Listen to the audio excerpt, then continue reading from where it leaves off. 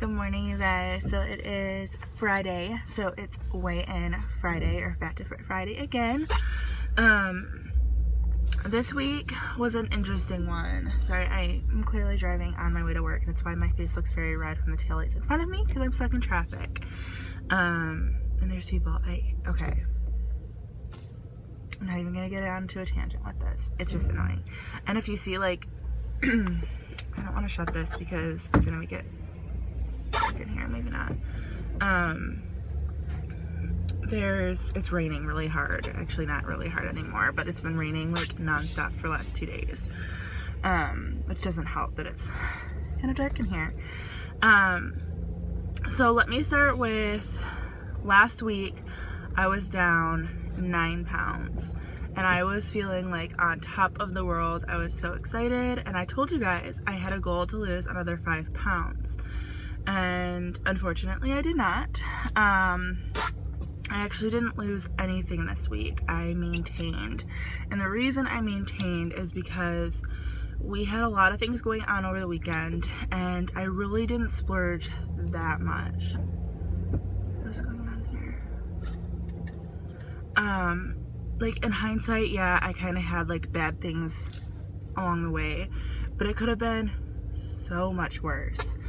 So Friday night, I did amazing. I stuck to the diet 100% all day on Friday. Um, I don't remember what I made for dinner, but I made maybe taco salad for dinner.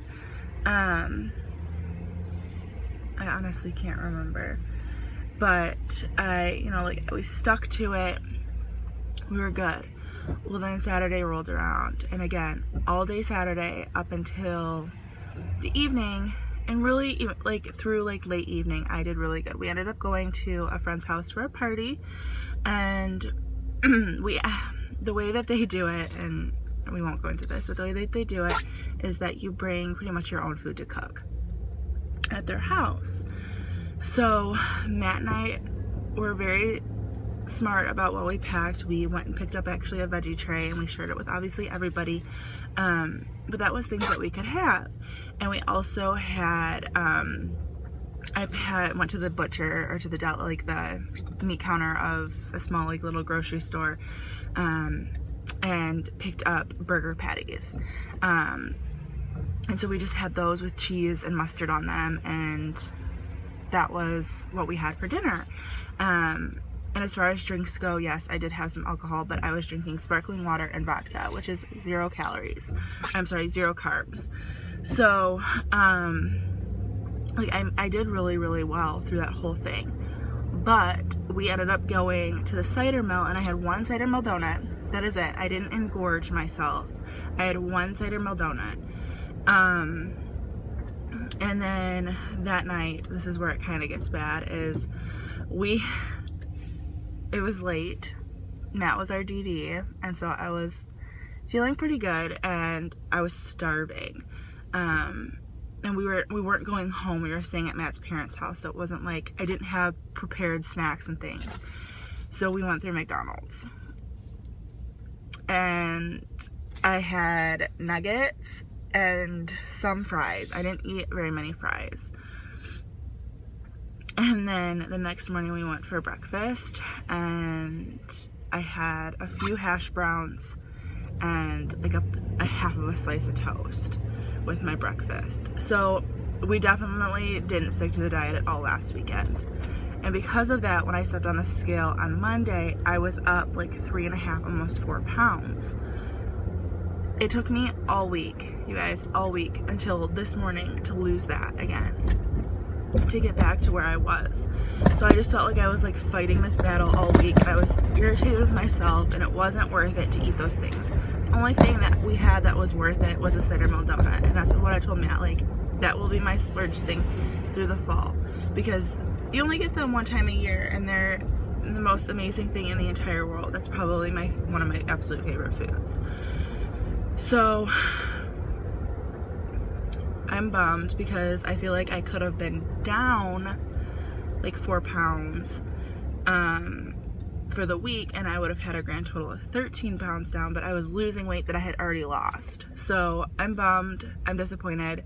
I told Matt we're not we're not doing that this weekend. If we want to have like if I want to have one thing, um, you know that's that's it. I'm not having like something every day.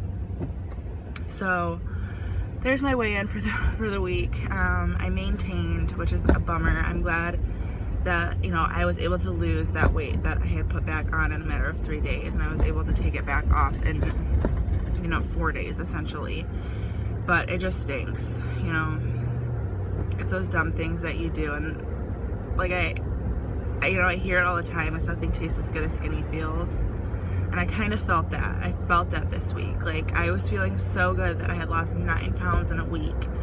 And then here I am struggling again and the scale is not moving. And it's just it stinks. It's not it's not something that I want to do again. Obviously there's going to be circumstances that come up in life where you're kind of out of control. Um, we're going to a wedding not this weekend not tomorrow but the following Saturday and it's I'm assuming it's either it's either family style or buffet style because we didn't fill out a menu card. Um, so I'm gonna try my best and pick and choose things that you know are better for me. Um, it's difficult drinking out because I'm a vodka drinker and the only thing that I can mix I could do vodka and water I guess that's just not really my my thing um, I like the sparkle like the carbonation and tonic is not it's full of carbs, which I wasn't aware that vodka was full of carbs. Or I'm sorry, the tonic was full of carbs. Um, and I don't like soda water, and that's what they say to substitute it with. So we'll see. I mean, I'm not gonna not live my life because of a diet, but I'm also not gonna maintain a diet to live my life kind of thing. So I hope you guys enjoyed this video. I hope you all had a better week than I did. Um, I'm not I'm not going to dwell on it. Um, today starts a new week, so I'm going to push forward. Um, I'm not going to verbally say what my goals are for this week because I feel like it just like, it stinks to have to come back and be like, yeah. Um, but I do, I have a smaller goal. It's definitely not the five pounds that I had for last week. Um, what the heck? I'm, I'm looking to lose probably, I would like to lose another three pounds this week.